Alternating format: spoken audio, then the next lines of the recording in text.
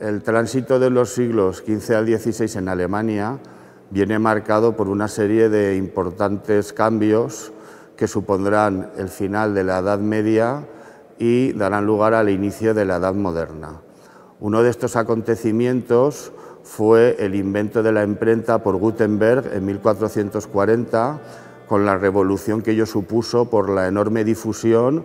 que alcanzaron a partir de ese momento las ideas y el conocimiento. Otro de estos cambios fue la entrada en Alemania de las novedades del Renacimiento italiano, propiciada por los dos viajes que realizó Alberto Durero a Italia en 1494 y en 1505. Y otro de estos hechos de vital importancia fue la reforma protestante iniciada por Martín Lutero en 1517, cuando clavó sus 95 tesis contra las indulgencias en la puerta de la iglesia de Wittenberg. Todos estos acontecimientos propiciaron por diferentes causas una edad de oro del grabado en Alemania en la que destacó de manera indiscutible la figura genial de Durero, uno de los más grandes grabadores de la historia del arte. Durero, con su virtuosismo y sus descubrimientos técnicos revolucionarios, expandió los horizontes de este joven arte hasta límites antes insospechados. Alrededor de Durero surgió en la pujante ciudad de Nuremberg un grupo de artistas a los que conocemos como los Kleinmaster o los pequeños maestros. Estos artistas se caracterizan por la realización de estampas de pequeño formato, muchas de ellas diminutas, auténticas miniaturas, que requerían de una enorme pericia técnica para su ejecución. En sus obras, los pequeños maestros trataron una gran variedad de temas, desde los más canónicos y elevados como historias eh, bíblicas y mitológicas, hasta los más mundanos y populares como representaciones de la vida cotidiana que dieron lugar a algunas de las primeras escenas de género de la historia del arte. También podemos encontrar entre sus obras algunas estampas que fueron muy polémicas por su elevada carga erótica, así como muchos grabados ornamentales que traslucen una creatividad y una fantasía desbordantes. Auténticos ciudadanos de su tiempo, los pequeños maestros llevaron unas vidas tan agitadas y convulsas como el periodo histórico que les tocó vivir, atractivo que se trasluce en sus obras.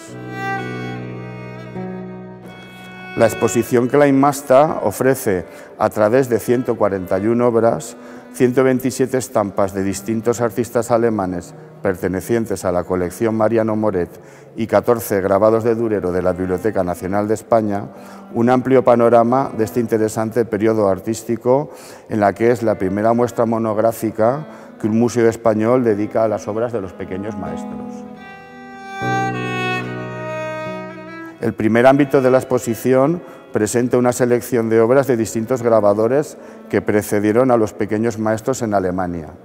y que sirven para contextualizar la obra de los Kleinmaster. En él podemos contemplar estampas de Martin Schongauer, uno de los primeros grabadores alemanes que ejerció una gran influencia sobre Alberto Durero.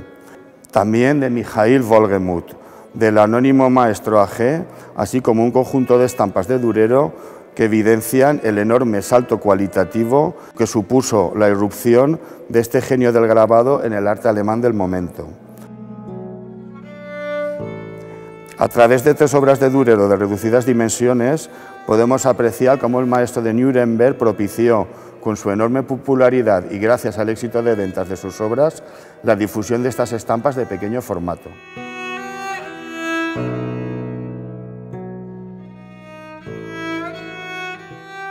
También podemos contemplar dos de los tres únicos grabados a buril existentes en España de Albrecht Aldorfa un importante maestro alemán al que se atribuye la invención del paisaje como género autónomo.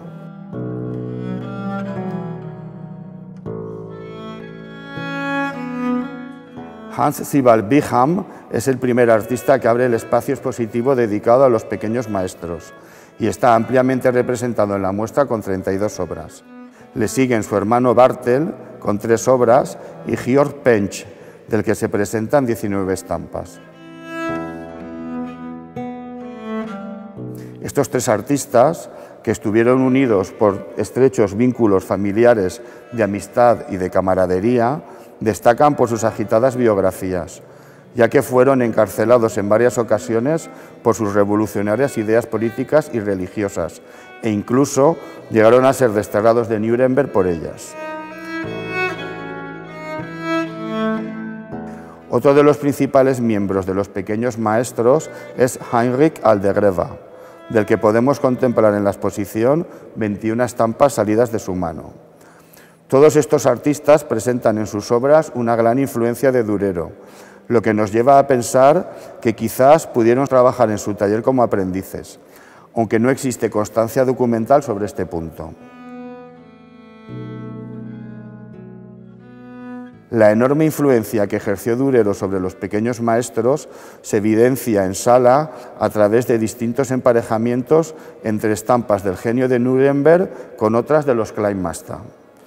Mediante estos emparejamientos se puede observar de manera muy gráfica esta influencia y apreciar las evidentes transferencias de información, bien sea a través de las temáticas escogidas para las obras, así como en la elaboración de las composiciones y también en las distintas técnicas empleadas con el buril para conseguir determinados efectos.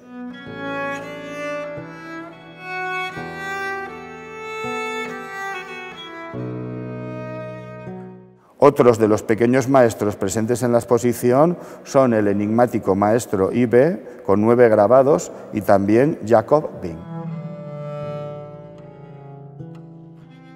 Un tercer ámbito de la exposición nos muestra la obra de otros grabadores que compartieron espacio geográfico y periodo histórico con los pequeños maestros.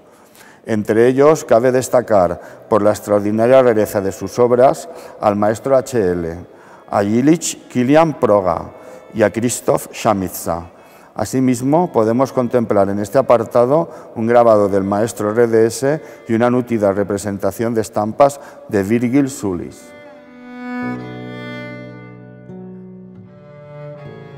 También se presenta al público un importante conjunto de estampas de los Hopfa, familia de grabadores de la ciudad de Augsburgo que, aunque no pertenecen estrictamente a los Kleinmaster, fueron contemporáneos suyos y son grabadores de enorme relevancia, ya que a ellos se atribuye la invención de la técnica del aguafuerte.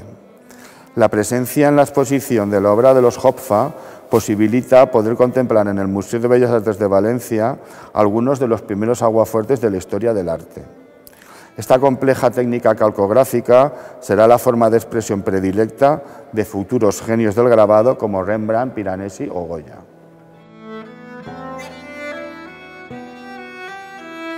Además de numerosas obras de temática religiosa y mitológica, en la exposición se muestran un nutrido conjunto de estampas ornamentales y referentes al Weibamach, o el poder de las mujeres, dos de los principales ejes temáticos en torno a los que está estructurada la colección Mariano Moret y que hacen de ella la colección de grabado de referencia a nivel nacional para estas materias. Tanto las estampas de los pequeños maestros como las salidas del taller de los Hopfa pueden considerarse como productos de la vanguardia tecnológica de la primera mitad del siglo XVI las primeras porque fueron posibles gracias a los avances en la ciencia de la óptica que posibilitaron la fabricación de las lentes imprescindibles para la producción de estampas de tamaño tan reducido. Las segundas son las expresiones primigenias de una técnica de grabado tan compleja como el aguafuerte. Por ello, el último espacio de la exposición está dedicado a mostrar el grabado antiguo mediante los medios museográficos a la vanguardia tecnológica del siglo XXI.